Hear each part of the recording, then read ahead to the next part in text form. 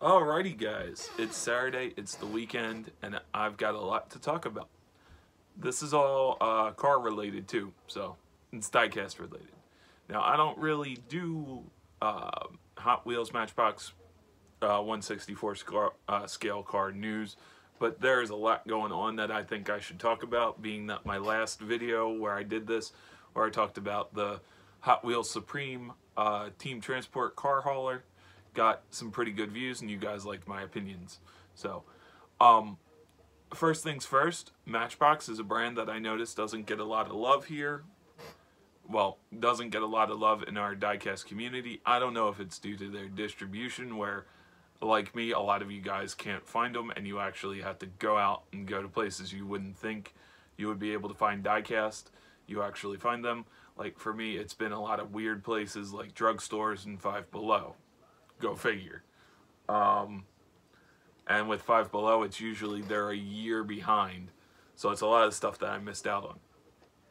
My Walmart did start stocking some newer Matchboxes, but it's mostly like the sets. And then this will be important to you guys, keep this in mind. Uh, they also started stocking the moving parts. Well, Matchbox just finally released an official picture of the moving parts diecasts, and I'll have that in a second.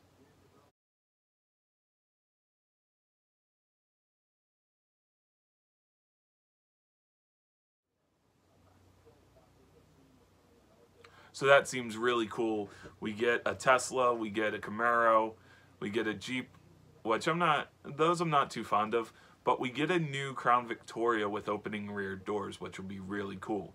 That being said, I can't wait for the premiums, which will have rubber tires and opening doors, and then we'll get that Matchbox uh, BMW i8, which will be really cool. Um, that'll go in my Matchbox dealership if you guys have been following the channel. Uh, that'll yeah, that'll definitely go in there, and then I'm working on a couple other cars maybe, and that I want to kind of keep as a display item so that's really cool. Matchbox is kind of stepping it up a bit with the moving parts. Again, prices are going to be about a dollar extra, so close to two to three dollars depending where you are and tax. Um, next is uh, Auto World, which is another diecast that I diecast brand that I really like, but it's it's hit or miss where I am. Sometimes you find stuff, sometimes you don't. And the weirdest thing is, it's mostly, it's not weird, but it's mostly around Christmas time where you find the big, big releases from Auto World. Like the Cadillacs or the station wagons. Um, about that, Auto World is releasing its first truck casting. They have a picture of a square body Chevrolet, which I'll actually put down here. Or not down in the description, but you guys will probably see it soon.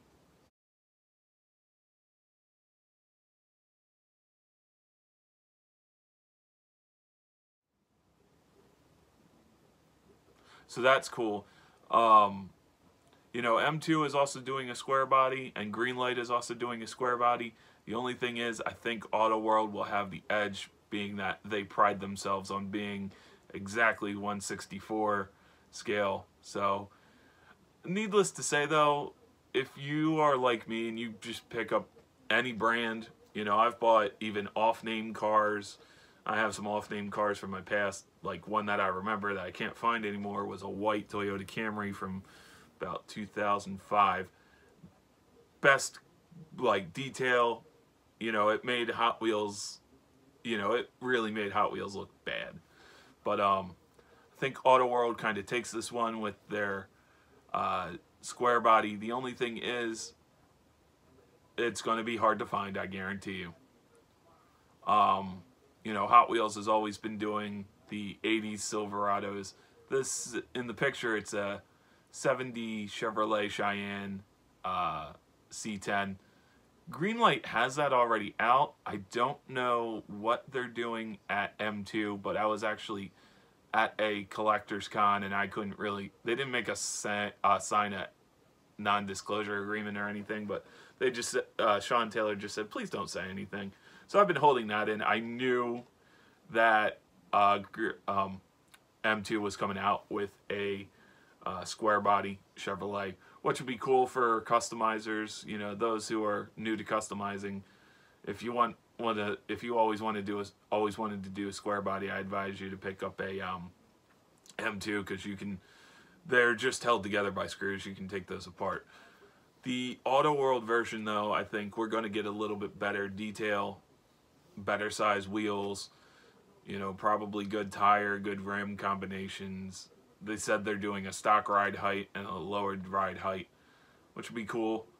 I wonder if they're going to put little things in the beds like um, like campers and things like that. I remember reading somewhere that they were going to do that, but anyway, that's Auto World.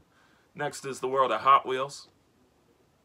Hot Wheels is doing some pretty big things. Uh, I saw this on T Hunted first, but I don't want, usually like to say anything because T Hunted sometimes they don't really do, and it's not their fault. It's everybody's excited about what's the new Hot Wheels or Matchbox or Tarmac Works or Greenlight or M2 release. Um, you know, sometimes they get pictures from people who are not supposed to be taking pictures of the samples in the factory as the cars come down the line. But um, this has been verified by the Hot Wheels Dream Team. I have the picture. I'll actually put it right here.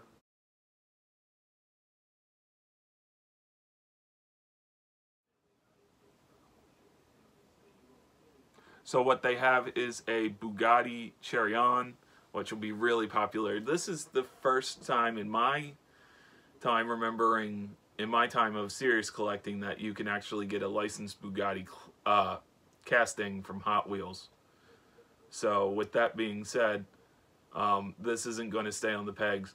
However, I don't think it's going to have the same, and this is just me, take this with a grain of salt, I don't really think it's going to have the same collector value as the Bugatti Veyron did. And I'm not saying that as a kid sitting here being jealous sour grapes because I don't have one. Uh, William Winters was nice enough to give me uh, a Bugatti Veyron, and I still felt weird about taking it from him. But he gave it to me, and he's like, just take it. And I'm like, okay. You know, it was funny. I was at his house after a toy convention, and he's like, you know, got a couple of Bugatti sitting here. And I'm like, yeah, you're the one who has this. And he's like, you want one? Go ahead, take it. So I guarantee those are going to be hard to find, the Chiron, the new Bugatti that's coming out. Because people are going to want them. And people are going to go back to when it was the Bugatti Veyron and probably are going to stockpile them. So just be, just be, uh, you know, be ready to want and go, be ready that you're not going to find them real quick. Although I don't know with Hot Wheels the way their distribution is. It seems like if you wait long enough, about a month, you'll find what you're looking for. That's just my experience. The one thing I do miss though is Hot Wheels used to do a lot more muscle cars and they used to do a lot of crazier things with muscle cars. I have some old muscle cars that I just detailed not that long ago. And I don't know. I mean, I like the J uh, the JDM stuff and some of the European stuff. Don't get excuse me. Don't get me wrong, but some of it, some of the uh, some of it's too hyped. Like even in the RLC castings now, you're seeing a lot of the Honda S2000, the um, what's the other one? The Bluebird 510 by Datsun. I feel like those castings have kind of been beat to death. But I don't know. There's probably people who will disagree with me.